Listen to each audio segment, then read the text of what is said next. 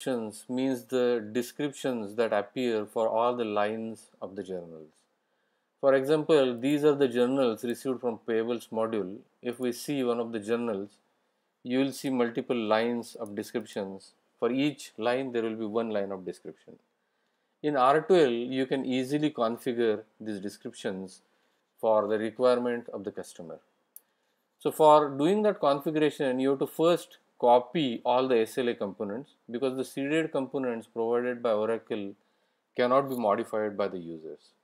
So I'm first going to change or I'm going to copy all the SLA components. So let us go to payables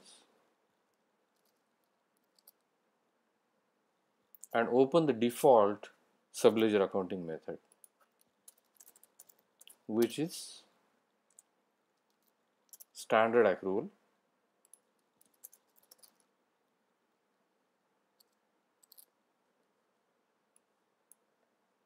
copy this method. This is a seeded method given by Oracle. I am going to use custom as the prefix, custom accrual.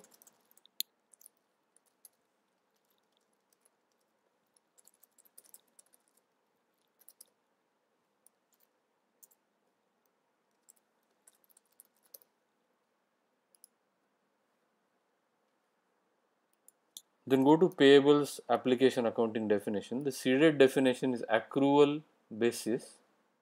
Go to AAD and copy the application accounting definition as well. Let us name it as custom accrual, custom AP accrual let us call it.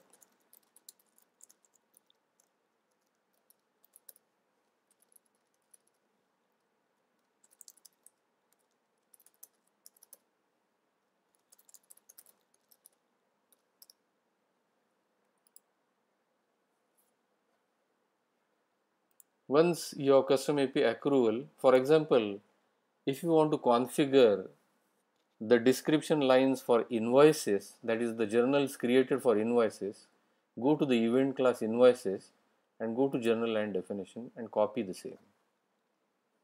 Copy the definition and let us name it with the same convention CUST accrual INV. Let us make a short form all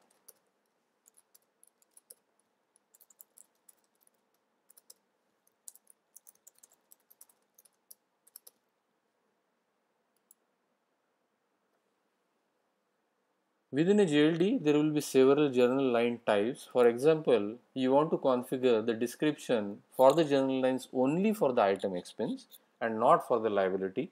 Go to the line type and Copy the definition for line type as well.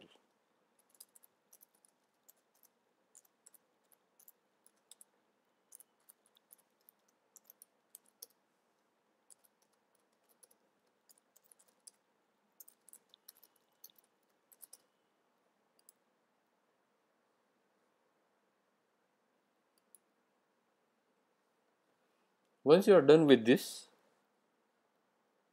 you should make the modifications as you need. So the journal line description used for the item expense journal line type is invoice distribution description. Let us open this and let us create a new one. Let us call it custom J line description.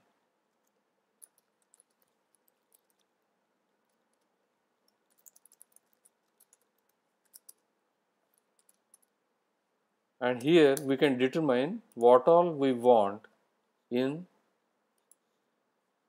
the description. So for example, we want to display in each description line the number of the invoice, invoice number. So this is the text that will be displayed and below that you want to or after that you want to display the actual invoice number, go to the source and select the source for invoice number.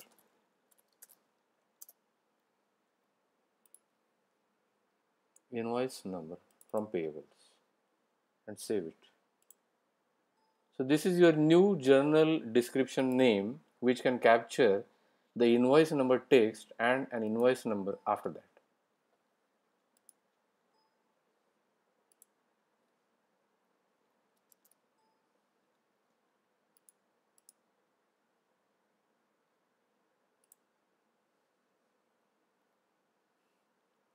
Then create one more line here and you want to replace the item expense with the new JLT that you already copied. So use the custom item expense for invoices and use the new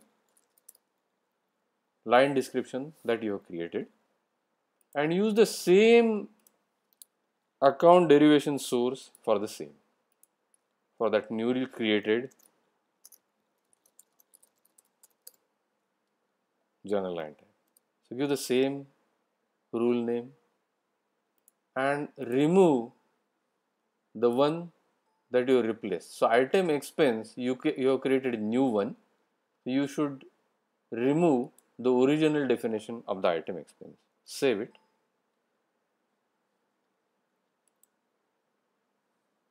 For invoices, this is the application accounting definition for invoices. Then go to the invoices event class and the original journal line definition should be substituted with the copied definition that you created and then remove the original definition. Save it.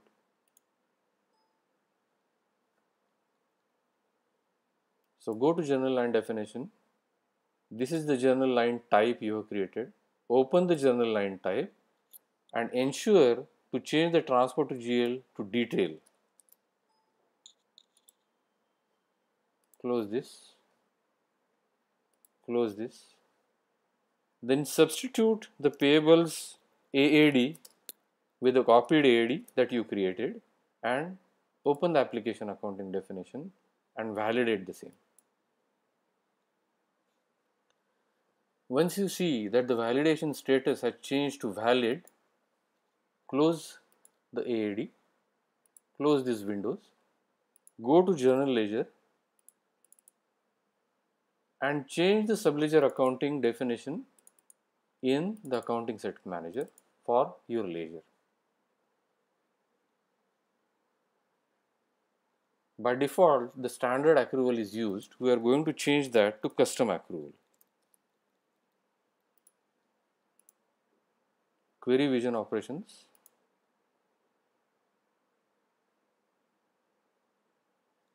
open the ledger options.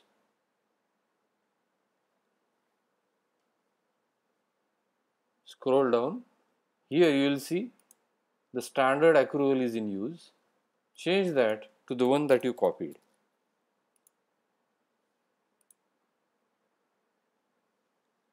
And finish to save the change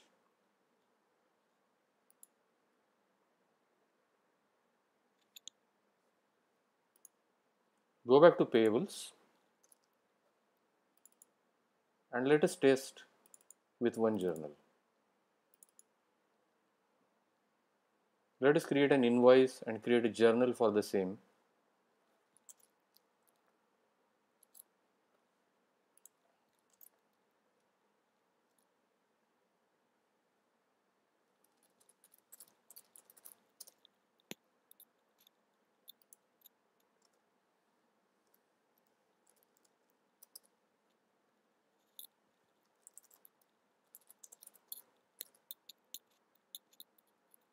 Let us give 67001 is the invoice number and amount 16500 and for the sake of simplicity let us use a distribution set ADV let us add a line.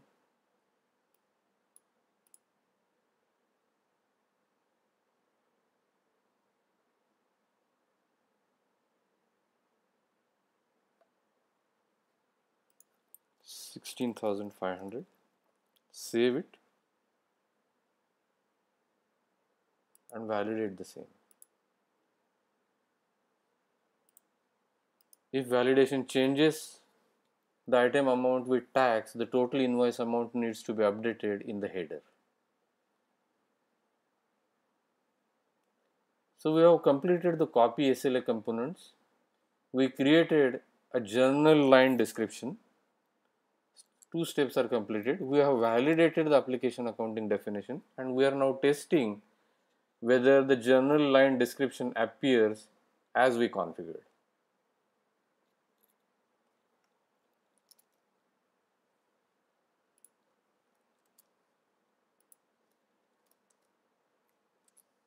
update the amount validate again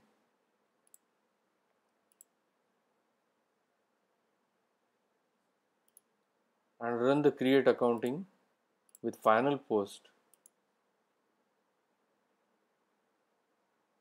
for the invoice.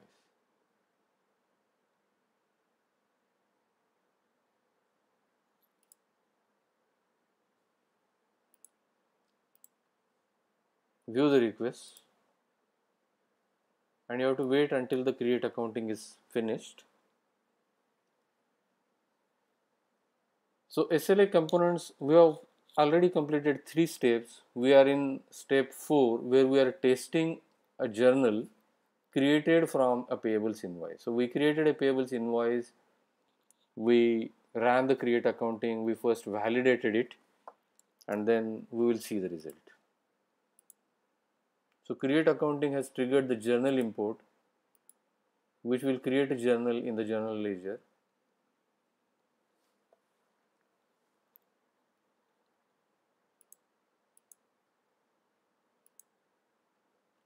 Capture this number to find your journal easily. Let us go to GL responsibility and find the journal.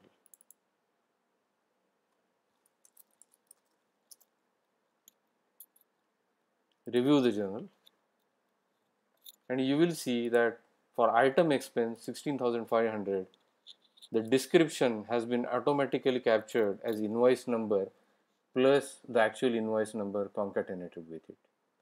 So that is the first step which is testing journal line description. I hope uh, you understand and this video will be helpful to you. Thank you. Bye bye.